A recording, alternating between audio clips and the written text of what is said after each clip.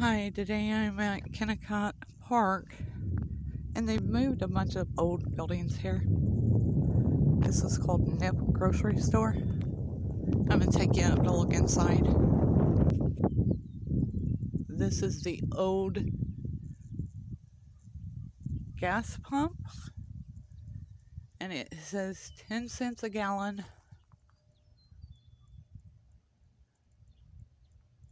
Can you imagine it being 10 cents a gallon today? This is the front of the grocery store and gas station. It says it was donated by Richard and Diana Jameson. It was called Nips Grocery Store. Now we're going to look in the windows, see what we can see in there.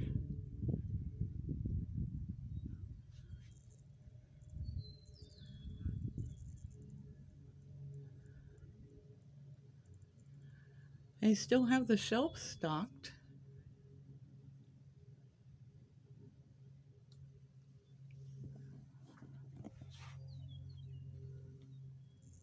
Can you see the eggs on the counter?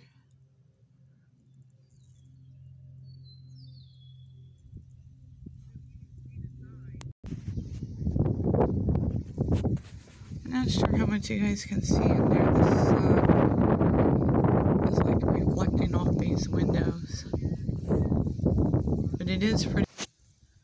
I found the sign for it.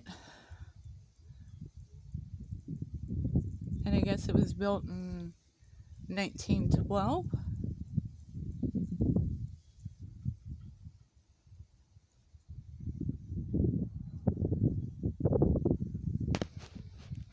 And this is the other side of the grocery store.